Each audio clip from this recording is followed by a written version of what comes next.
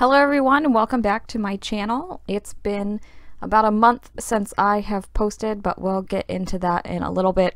I do want to apologize right at the beginning. Uh, if you hear my dog barking, she's on the other side of the house, but she is on squirrel patrol, so you, you might hear a dog. I doubt I can get through 10 minutes without her barking.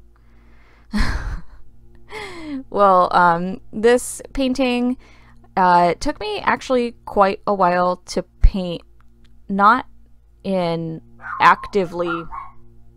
There she goes. Not in actively painting it, but uh, I started it, I think, either late September or early October, and didn't finish it until the beginning of November.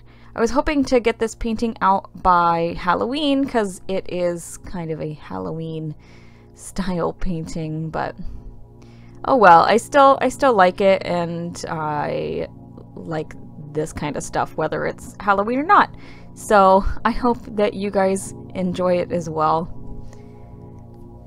So I was also doing Inktober. I only got about halfway through Inktober, and my next video I will be flipping through all of my Inktober drawings that I did, and even though I only got about 14 out of the 31 done, I, I'm, I'm still proud of myself for for getting that much done with as rough as a month as October was for me. Unfortunately, I had some health issues as well as my dog having some health issues. I will get into that in a little bit, but first I do want to talk about the painting a little bit and some new techniques that I tried at least towards the end of the painting and I think they were relatively successful but I think it'll be more successful once I start implementing it a little bit more uh, what's the word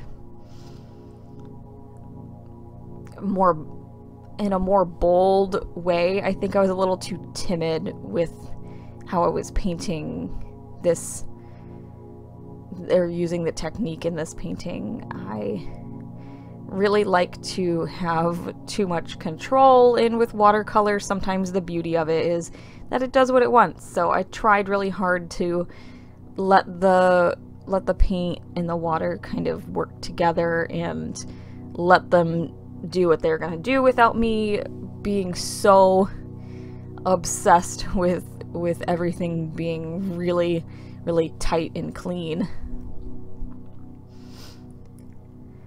So uh, you can kind of see me using the technique in, in the petals here where I lay down a color and then I, I add the red to the base of the flower and just kind of let it let it flow and, and do its thing.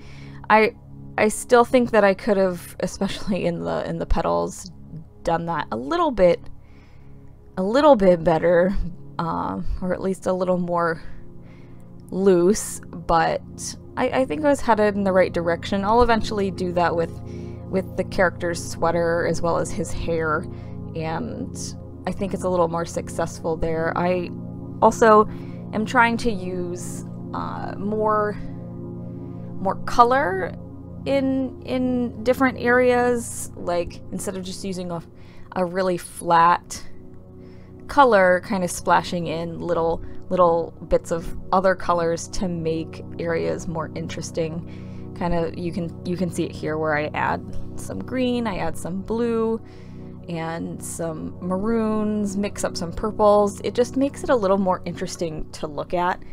And I think that it would have this piece would have been a little more successful had I uh, been a little more bold with that so I've talked a little bit about the painting other other than than trying to be a little more loose. I think I've done everything the same as I normally would using my regular paints and um, the paper I'm using is the Ready Cut watercolor paper by Strathmore. It's their Series 500 um, in 11 by 14. I actually really like this paper. It's somewhere between a hot press and a cold press. It is labeled as a cold press, but it is smoother actually quite a bit smoother than the uh, cold press by Arches. Arches does have quite quite a texture to it, which I love, but I I actually really like the texture of the ready cut watercolor paper. I, I suggest it definitely.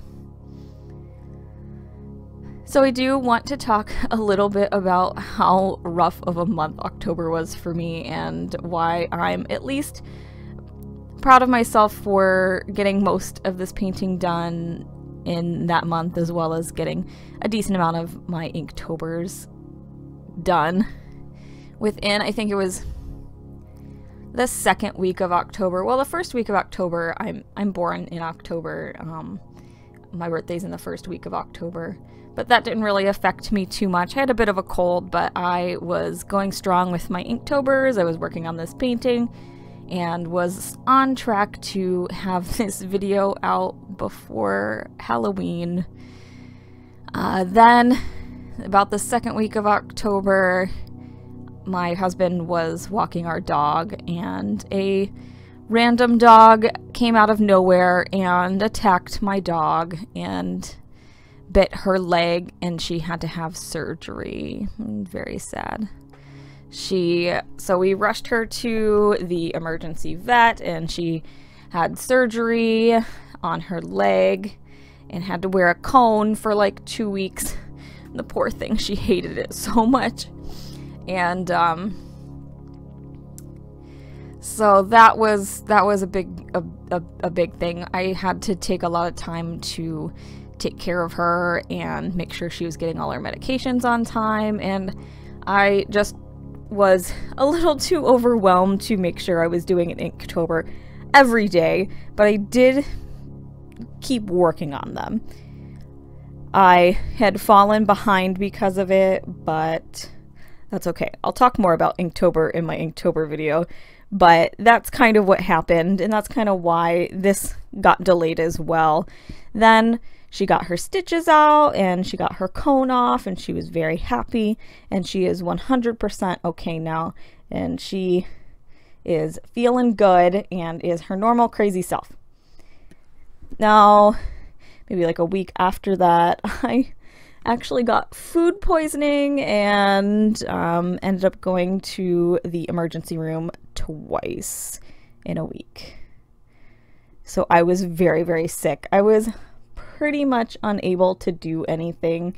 I couldn't even bring myself to lift my arms to draw. So I kind of just let myself chill out and heal because I really needed it. I, I've never been stuck by so many needles in my life.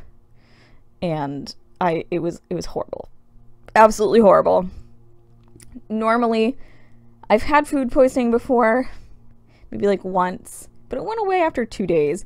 This was a week and then I had to have antibiotics and the state health department called me and to see like where I got this. It was it was a whole thing. It was ridiculous. I cannot believe how sick I was.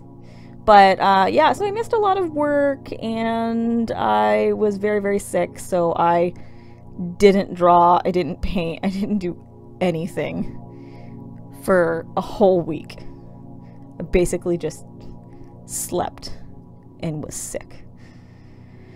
But oh yeah, um, so that's why this is out in mid November now, but that's okay.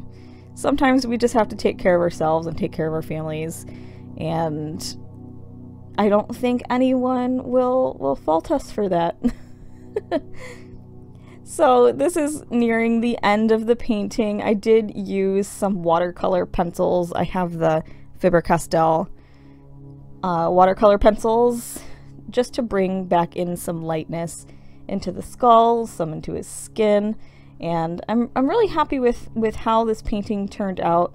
I think that there are some uh, instances that I could have improved. Of course, there's always always things that could be better, but ultimately, I think it, it looks really nice.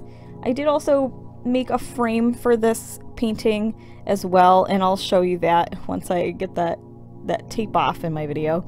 Um, I also have this painting as well as prints available for pre-order on my Etsy. So my Etsy is linked down below. So if you are interested in getting a copy of this painting for yourself or the original, you can definitely go do that. I also have prints of my other artworks up on my Etsy as well, so make sure you check that out. Thank you so much for watching my video, guys, and I will see you soon. Bye-bye.